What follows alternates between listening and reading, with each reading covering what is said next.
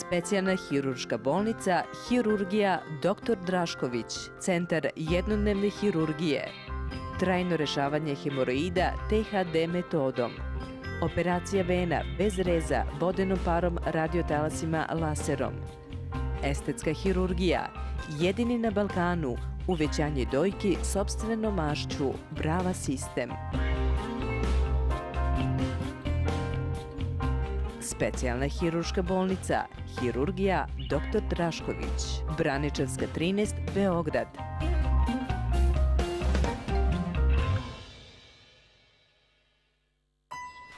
Razmišljam da u firmi pređemo na G-Data antivirus. To je kvalitetan nemački softver i uliva mi poverenje. Ma definitivno, G-Data. www.singi.rs internacionalnu školu pohađaju deca uzrasta od 2 do 18 godina. Đaci pohađaju britanski plan i program sertifikovan od strane Cambridge. Profesori ove škole su visoko obrazovani kadar iz svih krajeva sveta, a sva nastava se odvija na engleskom jeziku.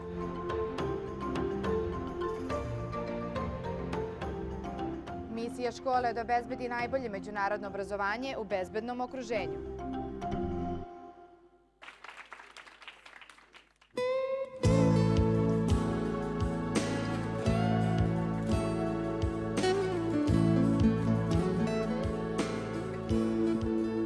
Izabrali ste bračnog druga.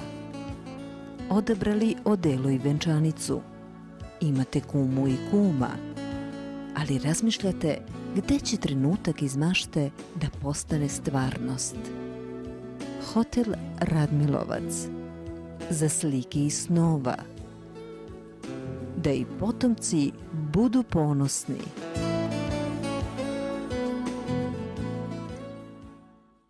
Za 16 godina izgradili smo i uknjižili preko 30.000 kvadratnih metara. Za svaki investicioni posao vaš, dođite hitno u nekretnine Taš. Ako imate keš ceo, dobit ćete i veliki popust na deo. Brzo, sigurno, legalno, lako, a na rate može i tako. Stan frišak, nov i vreo. Platiš pola, a uzmeš ceo. Tako lepi i kvalitetni, rađeni po meri. Vuneni tepisi antre, za sve generacije. I na dvoru, rađeni po meri. Vuneni tepisi antre. Tepisi, zavese, draperije, garnišne, za vaše dnevne sobe i trpezarije. Atelje antre, stara pazova. Mi smo na neki način lider u ovome što radimo. Konstantno tragamo za novitetima i inovativnom uslugom. Već 10 godina, zajedno sa NBG leasingom, omogućavamo prodaju muzičke i audio opreme na leasing. A od ove godine samostalni muzičari i pravna lica mogu kupovati na 24 rate bez odlaska u leasing kuću, bez dodatne dokumentacije. Plus, svaki uređaj je potpuno osiguran. Sky Music Centar. Zakorači u svijet senzualnih boja. Pojačaj raspoloženje. Savršenom nijansom. Koja ističe tvoj jedinstven stil. I dočarava nam misterioznost koju nosiš u sebi. Ja, u svom stilu. Golden Rose, Style in Makeup. Prvi koncert Ane Bekute u Sava centru je rasprodat. Opraštam ti Zlatiborske zore Drugi je zakazan za 26. oktobar. Tradicija se nastavlja uz provod za pamćenje.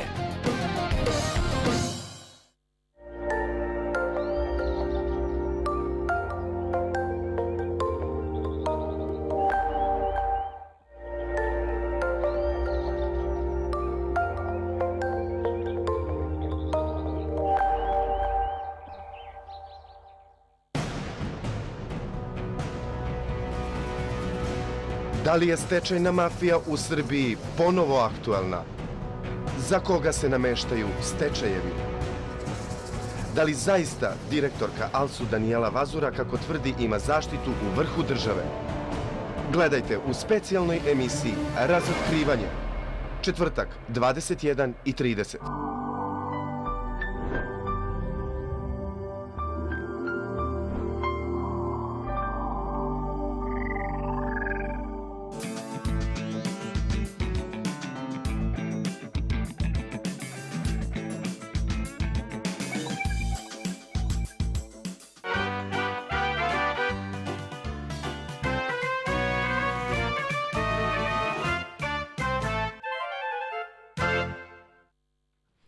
Serijal Klub šampiona je ekskluzivna emisija kroz koju je autor i voditelj Mirjana Pavlović ugostila proslavljene sportiste koji su ostavili trag na našem sportskom nebu. Emisiju možete pogledati premijerno svakog četvrtka u 21 čas. Emisija Klub šampiona.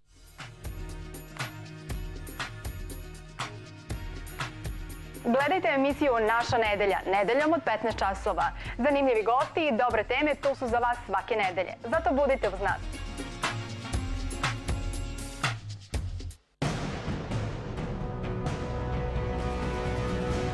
Da li je stečajna mafija u Srbiji ponovo aktualna? Za koga se nameštaju stečajevi?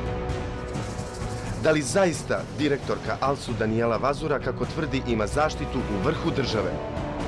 Gledajte u specijalnoj emisiji Razotkrivanje. Četvrtak, 21 i 30.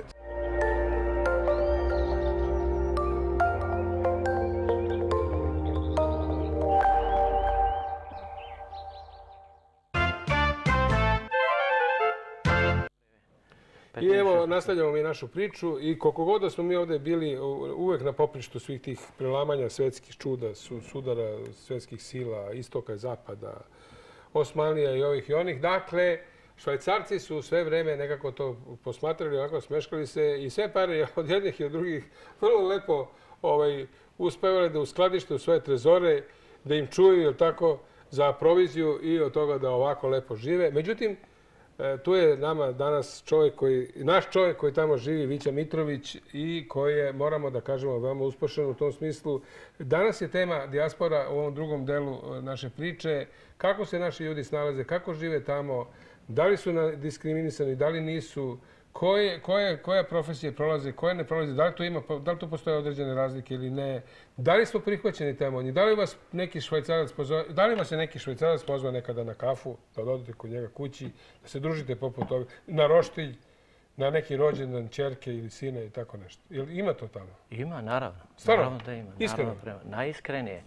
Najiskrenije. Mi smo zadnju našu emisiju završili oko toga šta se jede ovde, šta tamo. I onda... Tamo se jede Toblerone.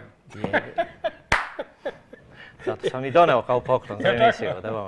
E, Naravno, ali jedu se i druge stvari. E, mi smo zadnjeg trenutka govorili, pa ćemo se vratiti na taj istorijski moment, o tome e, da oni ne okreću na ražanj, ne znam, jagnje ili prase. Vole oni to, imaju totalno jedan drugačiji pristup. E, želio bih samo da kažem i želio bih da to povežem u jednom antropološkom ili etnološkom smislu sa jedna dva, dva običaja koje ja imam kod mene u istočnoj Srbiji i koja su već izumrla. Pričamo o homolju. Pričamo o homolju. Ali kada smo zadnji put pričali, znači oni nemaju okretanje praseta ili jagnjeta na ražnju, ali vole to da jedu. Ali s druge strane, u Lucernu ili u Ženevi ili u većim gradovima postoje najbolje visoke škole svetskog kulinarstva gdje oni izučavaju znači, svoje kuvare koji svuda po svijetu odlaze i stvaraju fenomenalne e, kulinarske specialitete koji su veoma poštovane. Ali s obzirom da prošli put nisam rekao dva specialiteta koje su veoma bitni, imaju vezu sa švajcarskim sirevima. Jedan se zove fondue, potiče od reči e, e, u tom smislu ras, rastapanje, ras, e, e, od fondr na francuskom i oni uzimaju više vrste sireva i to stavljaju u neku posudu, to zagraju i onda sa belim vinom, naravno, imaju izuzetna lepa vina, jedno od najboljih vina se zove, da, zove se Epes u tom predelu Ženevskog jezera i onda to tako mešaju i uzimaju na jednu podužu viljušku parče pomalo sušenog hleba i to umaču u taj e, predivni sir koji ima različite variacije i to je jedan specialitet kod njih. Ima jedan drugi opet koji se zove rakle, od, e, u tom smislu sečenje kriški koje se također greju isto pa sa kompre, isto sir. Znači taj delovi sa sirevima je nešto što je veoma interesantno. I to sad, nešto mirišu na ima kad miriše, ima kad ne. I čudno i malo jače, ali oni su navikli na te vrste sira. I znaju oni šta je to beli mrs? Kad su već kod sira. I kaj ima? Znate, u tom smislu, taj, taj, to pitanje e, posta tamo na zapadu je relativizovano. Ovo je mrs, pa ste beli mrs. Dobro. U smislu, lepo parče sira, onog svežeg sira belog i prelije se kajmakom. Vruća lepinja, ovdje nije su sasušeno, nego vruća lepinja, pa znate to valjda. E, Da, ali i kod njih te ti sirovi se koriste, oni to preliju sa krompirom, sa kuvanim krompirom. Ajde. Znači, u tom smislu. Ali sad da napravimo jednu, jednu, jednu analizu, e, s obzirom da je trpeza veoma bitna. Jeste. I u, tom smislu spomenut ću jedan veoma interesantan običaj e, koji, koji ne egzistira gotovo više u Homolju, istočnoj Srbiji. Prilikom svečane svadbene trpeze vlasili su kadili jednom specijalnom biljkom koja se zove divizma e, svečanu e, svadbenu trpezu. Veoma je interesantno zbog čega. S obzirom da se veruje, i to e, istoričari jako lijepo opisuju, pogotovo gospodin Slavlje Ugacović, da je period svadbe period velikog haosa. Da bi došlo do stvaranja harmonije, neophodno je da se uradi ritual. Uzima se biljka koja se u narodu, e, kod Nemaca na primjer zove e, g- Königsherzen, Hrvati isto je tako nazivaju em, kraljevska sveća, mi ovdje zovemo divizma. Analizirajući tu reč stoje dve, dva, d- d- d- dva dela, s jedne strane Deos ili Zevs, znači Bog, s druge strane Zema, zemlja. I ta biljka je veoma bitna jer e, kađenjem se u stvari e, pozivaju bo- božanstva, bogovi da daju blagoslov i da se iz haosa pređe u stanje, veoma lepo stanje, da se nebo i zemlja spoji, buduća mlada i budući mladoženja stvore jednu zajednicu koja je fenomenalna. I kad to odrade, sad ću samo još jedan minut, onda oni kreću prema kućnom pragu. Tamo Šta i sačekuje kum. Pre nego što uđu do kuće, obično je bila nekakva, e, nekakva voćka, znači jabuka, petrovka, gdje ih on sačekuje sa volovskim raonikom. I onda ih uramljuje u taj raonik. I onda im kazuje, čekajte, život je nešto što je veoma teško. I onda simbolično ih malo potera i onda ih tera dalje. Na samom pragu ih sačekuje majka, znači buduća svekrva, koja ima jednim delom obnaženu e, e, dojku na kojoj stoje tri kapi meda. Tog trenutka mlada ulazi pod krov te buduće kućne zajednice, poližete ti kapi meda i od tog trenutka svekrva joj postaje majka. I onda na kanici ulazi preko kućnog praga. Zar to nije lijep običaj? Divan. I tako, znači, krenuli smo trpeza na svadbi. Takva trpeza se koristi do trenutka kad čovjek napušta ovaj svijet. Veoma je bitna. Zato smo povezali tu priču kako ko jede i u, svakoj, je u svakom delu zemaljske kugle ima svoj, svoj značaj. Viće Mitrović, ovdje prisutan, rođen u Homolju, u istočnoj Srbiji. Pričat ćemo to i slušat ćemo malo muziku. Osnovnu školu i gimnaziju završio u svom selu. Pričamo sada o našim ljudima koji su se i takako dobro snašli e, negde preko. Spadate u kategoriju onih koji žive u dijaspori, je tako? Završili ste ovdje i osnovnu školu, boga mi ovdje ste studirali i završili političke nauke 86. godine i tada, te 86. godine, ajde već da kažemo daleke, odlazite baš u Švajcarsku i sada je logično pitanje što bre baš u Švajcarsku? Zato Kako je moguće da niste otišli u Nemačku? Znate, svi tako nekako išli tamo da Švajcarska je bila rade. zadnja destinacija e, onih ljudi koji ovdje više nisu mogli da se snađu. Verovatno je to e, početak ili naznaka te možda jače ekonomske krize. Iz mog sela, odakle ja potičem, svi su gotovo bili u Švajcarskoj. Isto. I onda postoji jedno selo pored tog grada gdje ja živim koji se zove Gosov. Tamo ima u tom malom selu preko 150 familija. Pa sad računajte puta četiri. Naši ljudi? Naših ljudi iz, mo- iz opštine Iz- Petrovac na Mlavi. Petrovac na Mlavi. Znači, e, Petrovac na Mlavi je jedna opština koja s razmjerno broju stanovnika najviše gastarbajtera ima vani. U odnosu na broj stanovnika. Upravo je to tema našeg druženja, i da približimo malo taj način života naših ljudi tamo negde, tamo gde, e, eto, pa danas smo pričali malo, danas pričamo malo, danas je veliki dan kad je Beograd u pitanju, dan oslobođenja Beograda.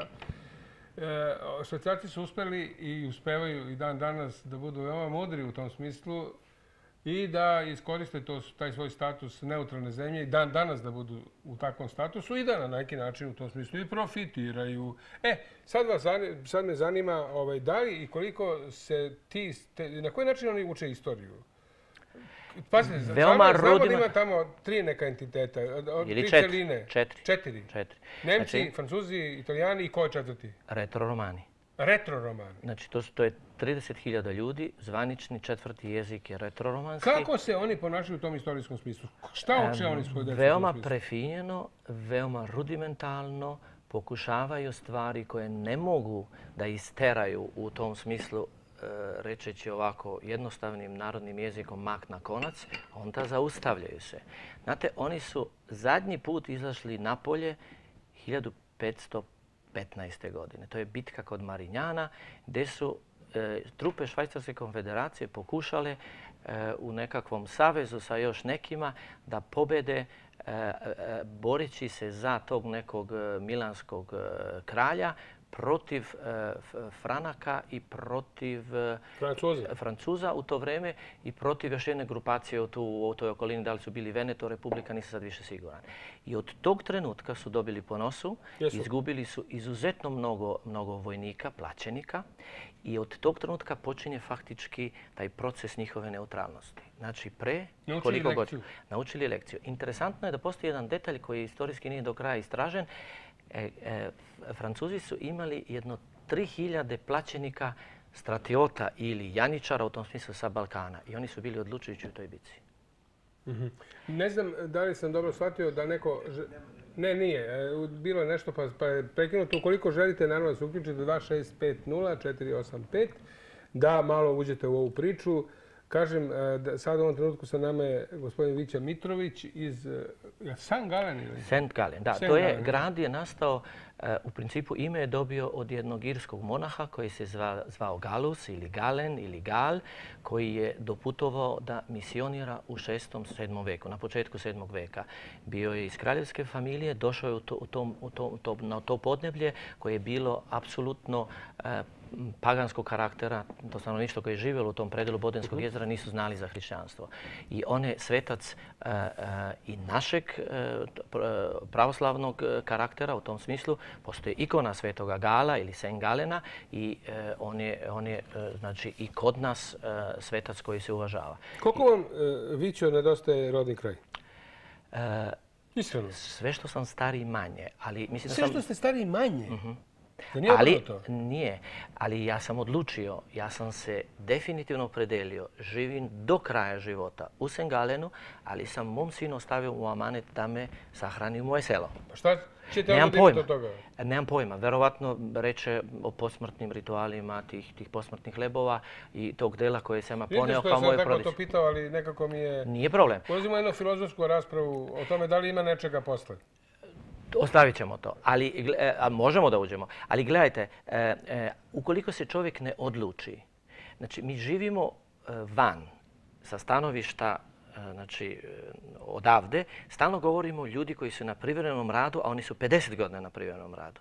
To je jedna šizma u čovjeku, jedno podvajanje. Znači, ili sam živ, ili sam mrtav. Ne mogu biti pola-pola. Znači, u tom smislu čovjek treba da se opredeli.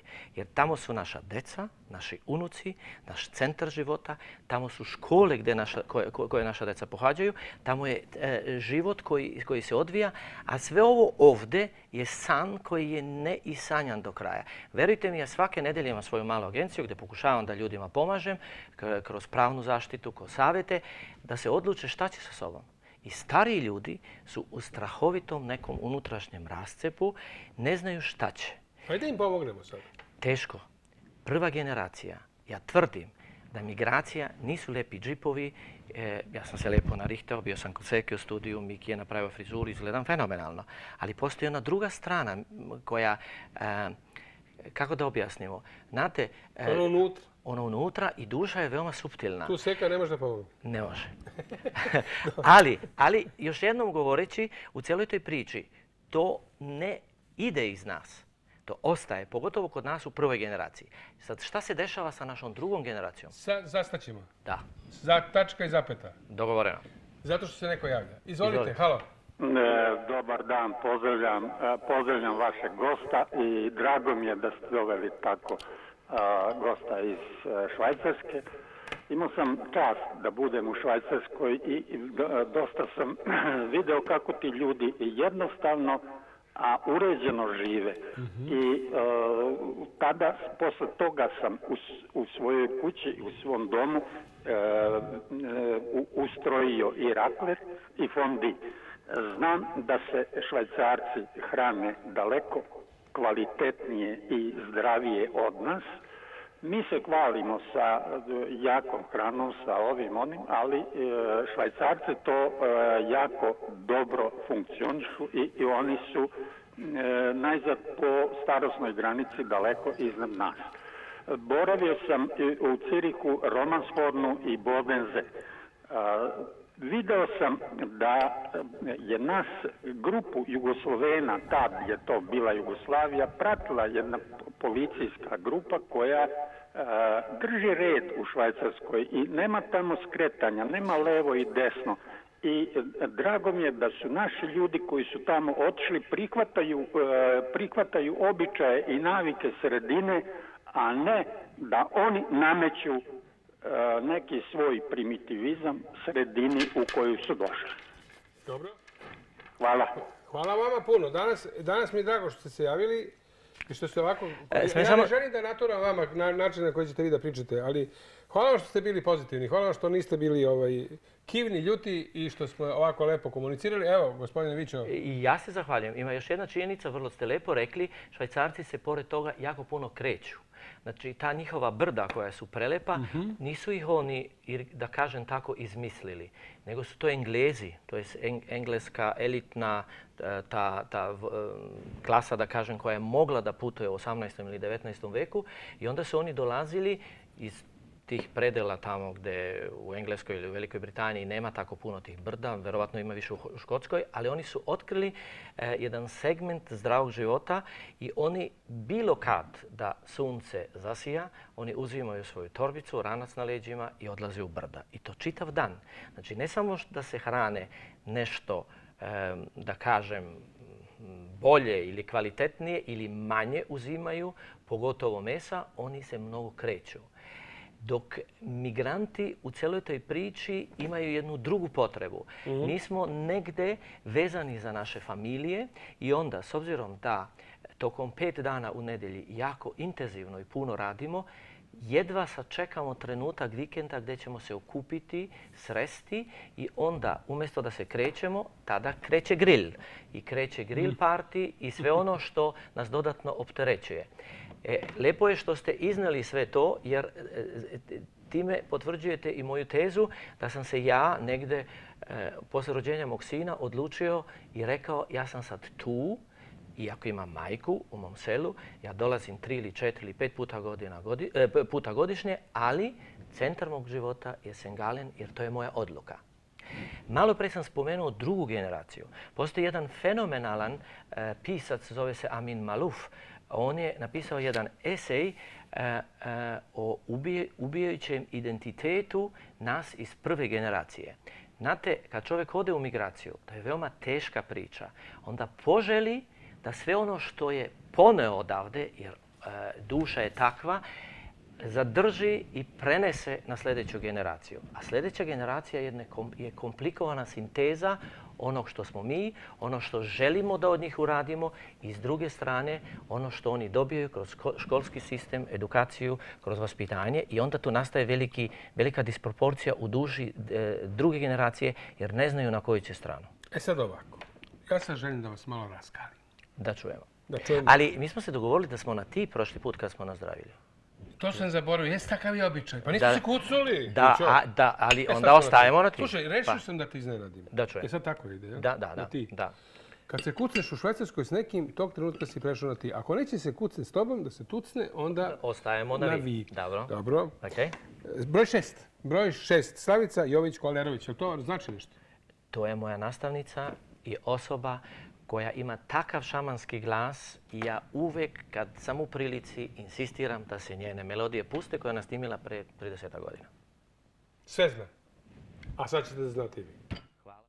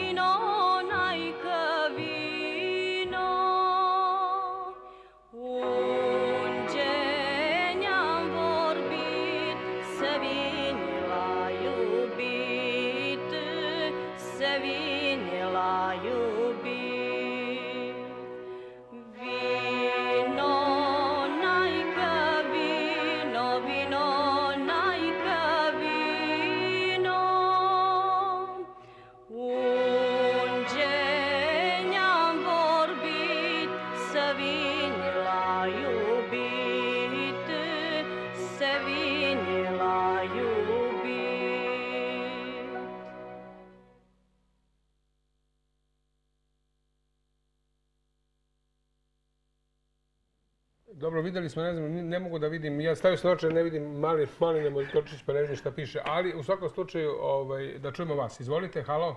Halo, dobar dan. Dobar dan. E, želim da pozdravim vas i vaše goste. Mhm, I htjela bih da ga zamolim za jedno pitanje ako može. Izvolite. E, kojim je put za našu omladinu do, do Švajcarske da se dođe? Aha, odakle vi zovete? Odakle zovete? A, okolina e, Banja Luke. Oko, znači, iz Republike Srpske okoline Banja Luke, zanima vas kako mladi ljudi mogu da odu poput Da našeg dođu gosta? do Švajcarske. Da, a za što? Da rade tamo, da žive? Da, šta? da. Da, slušajte, e, nisam sad siguran, ali znam da je prejedno, da kažem, ajde, mjesec dana, možda i manje, nije bitno, e, bio jedan članak, ja mislim u Blicu, koji je e, jasno i decidirano rekao da postoji mogućnost da naši ljudi dođu do radnog mjesta u Švajcarskoj. E, vrlo jednostavno, ukoliko imaju dve doktorske titule. Ne da je lekar, može i da bude lekar, ali istovremeno mora da bude takav hirurg e, koji, e, koji je toliko tražen da boli glava, rečeno u žargonu, da je zaista priznat i poznat. Ako je ta osoba iz IT berajha, znači kompjuterski stručnjak koji je tako dobar u znanju engleskog, nemačkog ili ne znam kog još drugog jezika, on će sam da aplicira, da postavi zahtev i firma koja ima interesa, ona ne mora da bude iz, tog, iz te kompjuterske branže, nego firma koja e, ima zahtevnost za takvim osobljem, on može da dođe direktno do vize B. Viza B znači viza koja se svake godine obnavlja i vezana je za radni proces. Znači, posle pet ili deset godina je moguće dobiti vizu C koja je stalnog karaktera kao u Americi, na primjer, green card.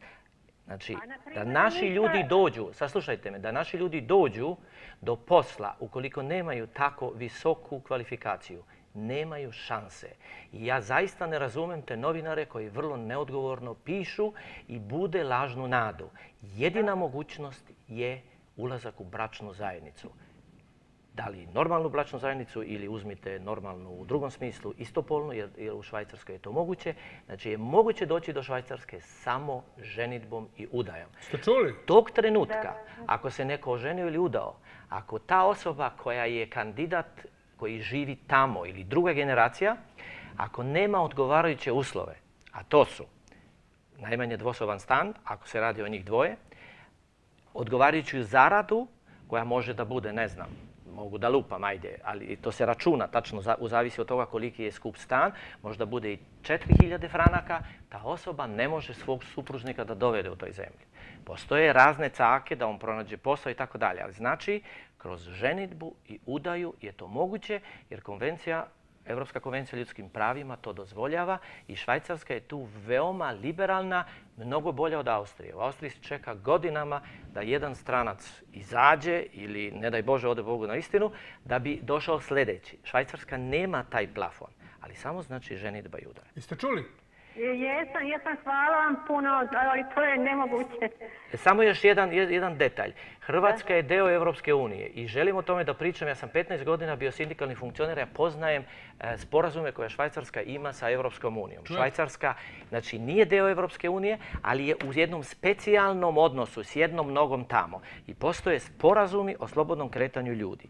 Znači, Hrvatska je deo Evropske unije radnici iz Hrvatske, ljudi iz Hrvatske, po bilo kojoj osnovi, ne znam, e, doktori svi, mogu da odu u Nemačkoj bez problema da rade.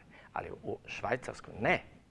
Znači to što je Rumunija i što su Rumunija i Bugarska bili e, odavno u Evropskoj uniji, od pre deset godina, su tek slobodno kretanje ljudi u tom smislu da neko pronađe radni ugovor i dođe da radi u Švajcarskoj dobili od 1.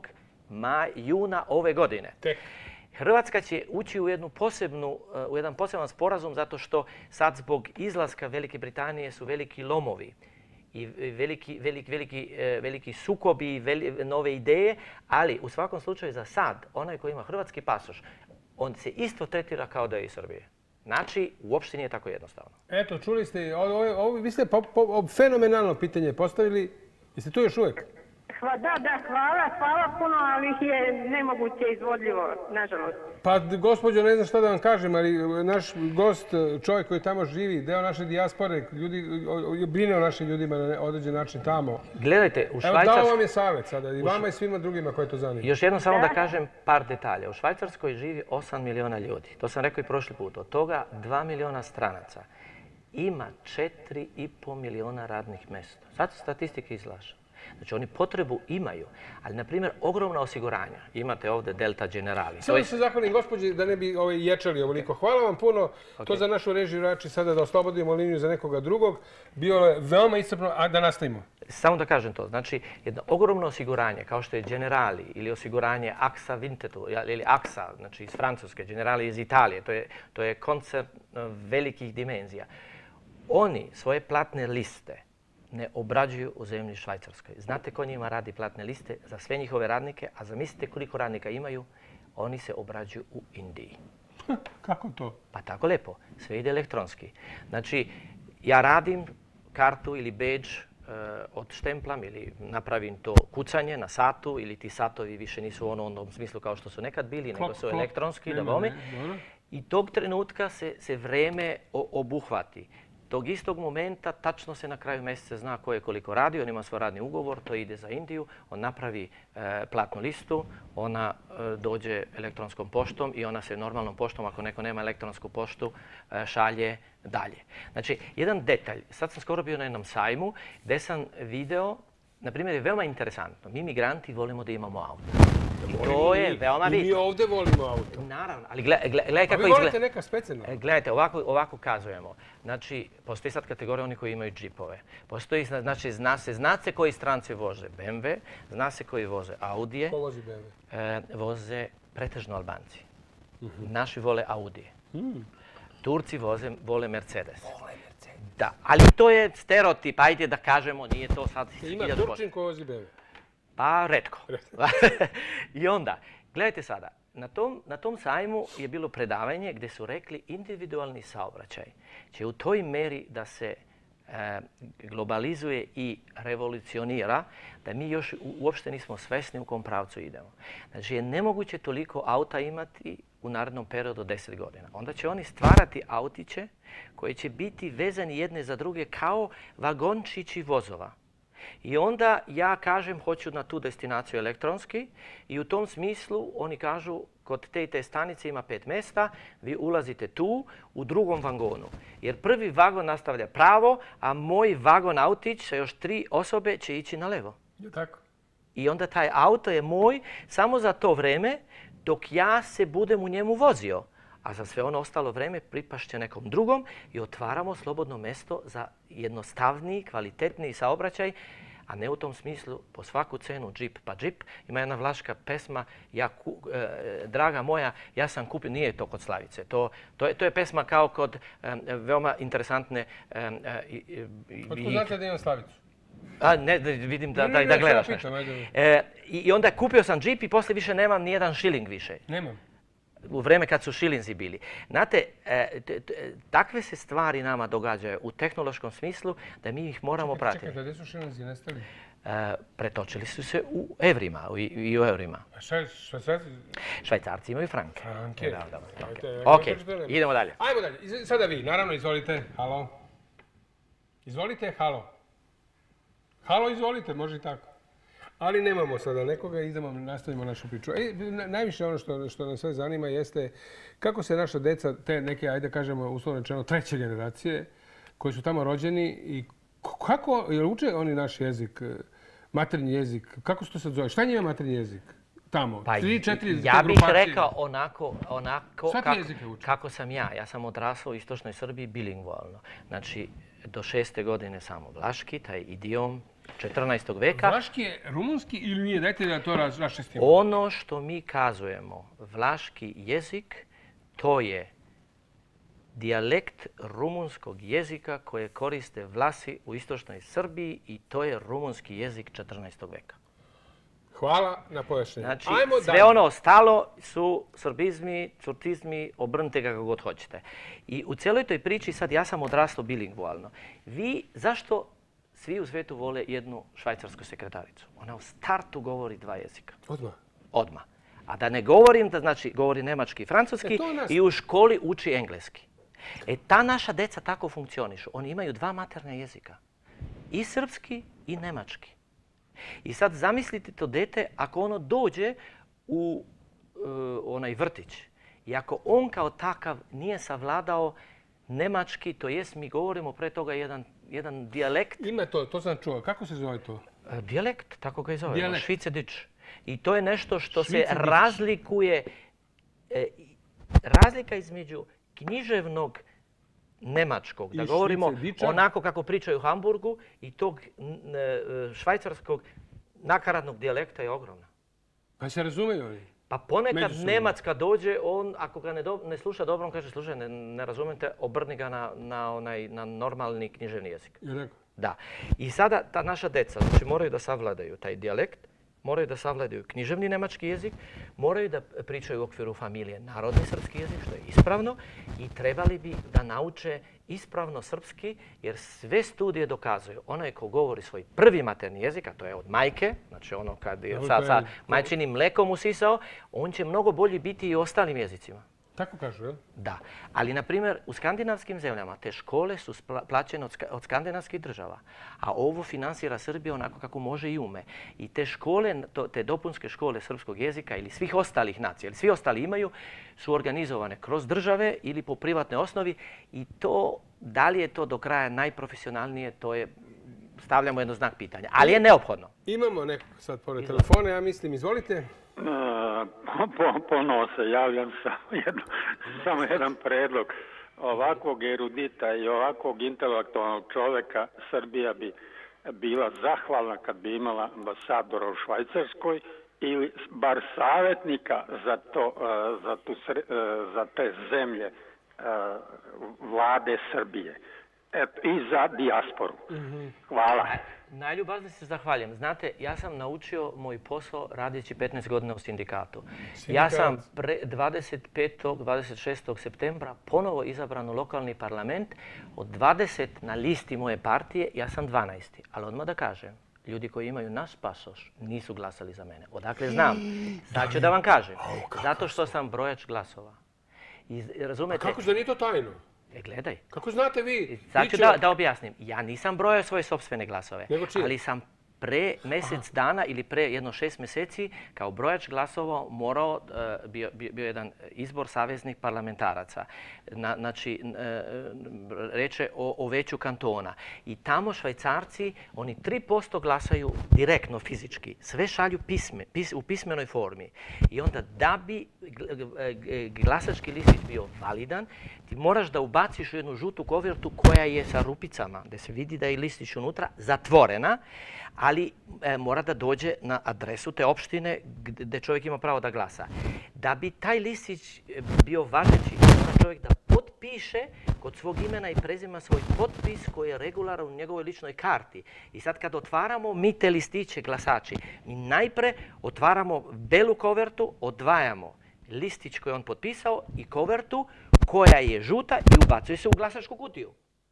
I onda ja sad gledam, kad otvaram to, i sad gledam ime, ne znam, Petar Petrović, ne znam, Maličis ili ne znam, obrnite kako hoće, sa cijele teritorije Balkana. 20 minuta obrćem, obrćem, nema nijedno ime sa Balkana.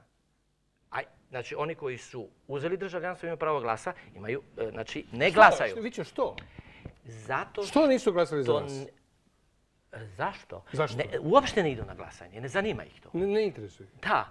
Zato, ima jedan broj koji to, ali ja tačno tvrdim da, na primjer, Kurti ili jednim delom Turci koji su politički ovako više angažovani, su politički spremni, ali verovatno i zbog toga zato što ne odlaze više u te njihove probitne matične zemlje. Ima tu neka, pa neko. Pa čekajte, šta su naučili u tom, na tom zapadu ako to nisu naučili? Pa šta se, ne mogu da verujem. Pa jednom naš čovjek, uvijek naš čovjek, gdje god da je, jel da? E, gledajte, ja sam imao sam jedan, jedan intervju u jednoj, jednoj interesantnoj novini. Ovaj me pita gdje je problem. Je li problem u prezimenu?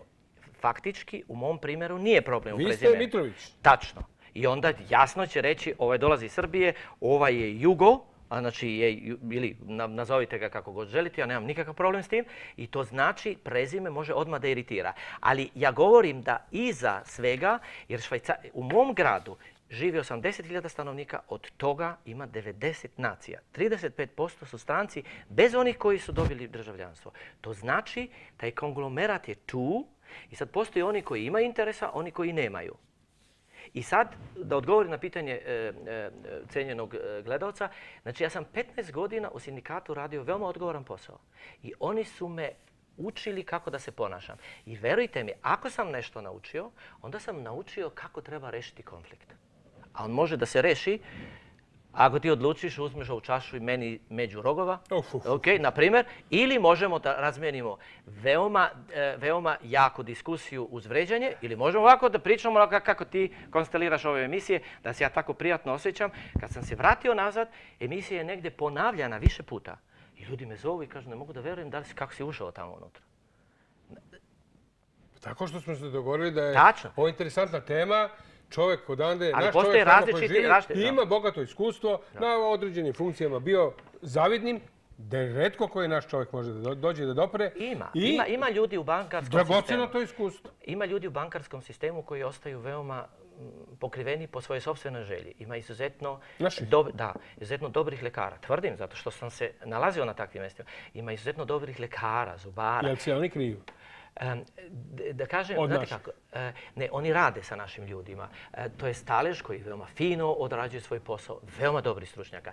Ili su u svojim ordinacijama, jer su jedan duži pre- period proveli po bolnicama, ili su po bolnicama. Ali zadnje vrijeme ima sve manje naših ljudi. Dolaze sad e, momci i devojke iz treće generacije. Kada te pozove švajcarac u kuću, Da. jel mora da se izuješ kad dolaziš? Ne. E, ako je, U Švedskoj moraš? E, gde u? U Švedskoj. Izujte lepo, dobiješ papuče. Ako je švajcarac e, budista ili je možda... Ne mislim na to verski, nego čisto onako običaj. Ne, ne, ne. Nemoj da mi uđeš je to, Ne, ne, ne. Zemlja je toliko čista, da u principu nije e, uzanca da, da se čovjek izuje. E, oni, s obzirom da imaju e, kontakt sa mnogim nacijama, onda oni znaju da, na primjer, postoji kulturološki moment gdje ljudi se izuju i oni u zadnje vrijeme pitaju to. Na primjer, vidim, odlazim sa učiteljima i učiteljicama i onda oni znaju da, na primjer, e, kod e, sugrađana albanske e, narodnosti, da se oni izuju i oni to znaju iz iskustva. Ovaj program se gleda globalno, jeste, i još jedan program se gleda globalno ja se to moram i želim i sve snage da, da, da, da, da zamoli režiju da nam pusti. To je broj 9, gdje ćete vidjeti šta će biti večeras u 9, a to večeras u 9 će biti premijerno jedna fenomenalna emisija vodi fenomenalna koleginica Mirjana Pavlović Zona Beka, klub šampiona sa Mićom Berićem. Premijerno večeras na našoj televiziji. Bravo, čestitam. Sad ćemo vidjeti, to je minut. Ok. Pa se vraćamo na našoj priči. Dogovor. Da vidimo.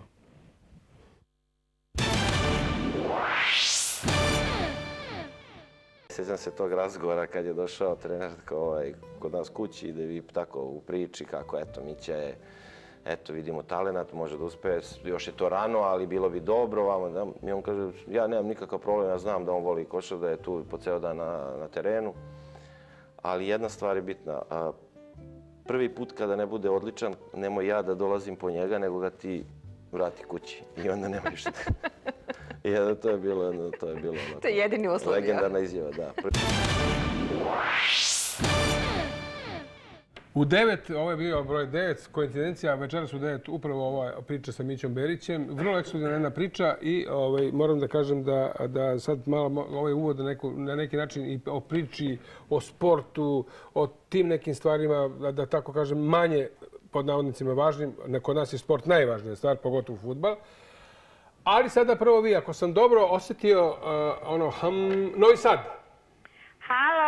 Novi Sad. Pa ka, vidite kako ja to neka pa svojstva imam. Pa dobar dan, želim gospodinu Mitroviću i Neši iz sunčanog Novog Sada od Čuk Zorke. Zorka, jeste pravili ajvar? Zorka je sve napravila, još samo sveklu da skuvam. Ajvar? A za nju ima vremena, ja pravim pinđur, pošto je moj čuk žestoki momak sa grmeća, on voli ljuće. E, samo trenutak, čekajte. A ja pravim čekajte. pinđur. Čekajte, samo trenutak. Vićo, kad kažem Ajvar, da vidim da li su vam zasvetljene oči, jesu.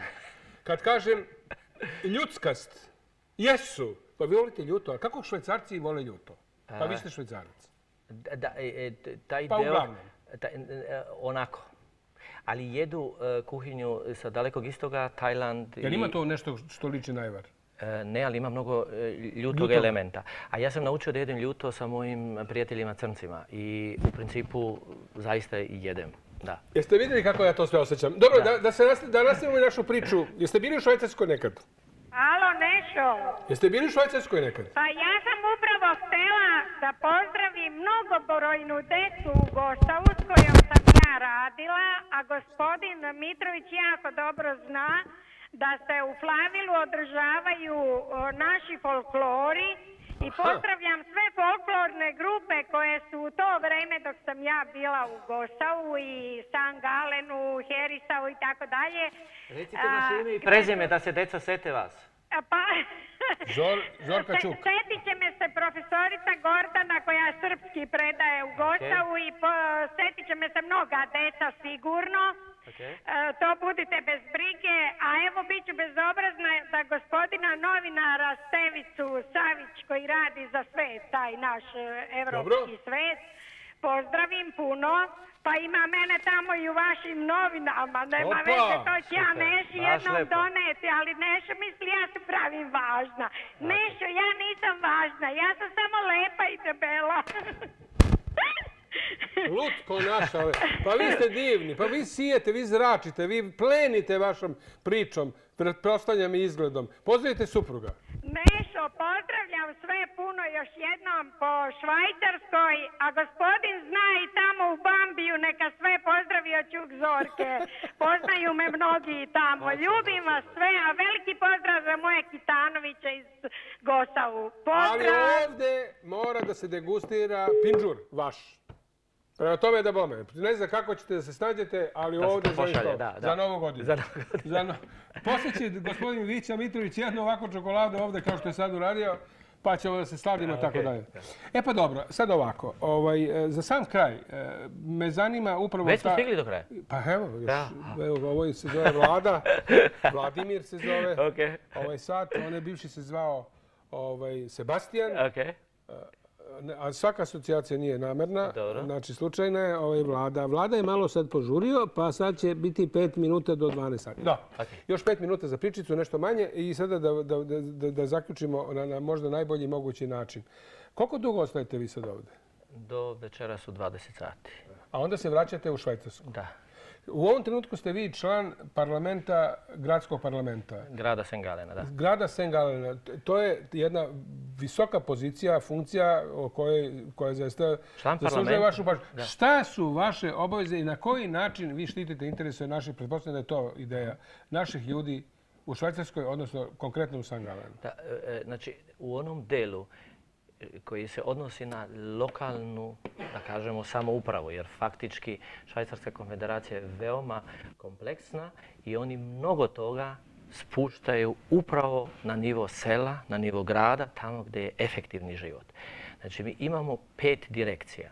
Znači, jedna za školstvo, druga je socijalnog karaktera i policija, treća e, direkcija koja se bavi gradnjom i dozvolima, dozvolama, četvrta tehnička e, postrojenja od, ne znam, gasa do saobraćaja i peta prezidijalna i koja vodi medije i sve što se tiče e, e, uprave kao takve da funkcioniše.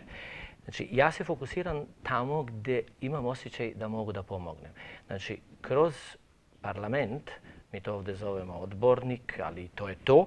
To? On je, da.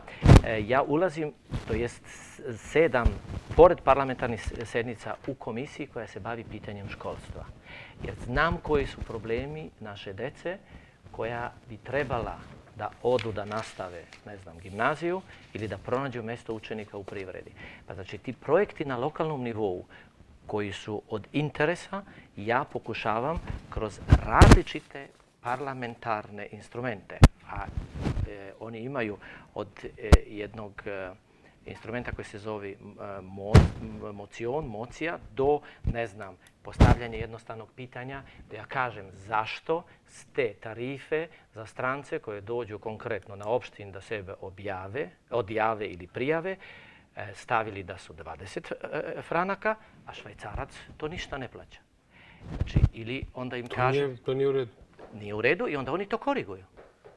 Onda mi govorimo o stopama poreza i onda se tu dogovaramo i ganjamo do e, zadnjeg, e, e, one žute banke, da kažem ponaški, gdje jednostavno se kaže to ne opterećujemo. Ako je neophodno da pomognemo familijama koje ne mogu da plate socijalno osiguranje, na tom nivou se stvaraju, znači na tom opštinskom nivou određeni fondovi odavde, odatle pomažu.